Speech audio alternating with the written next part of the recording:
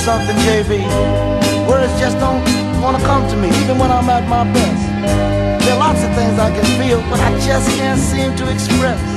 Some things that should be so easy to say just don't seem to want to come out that way.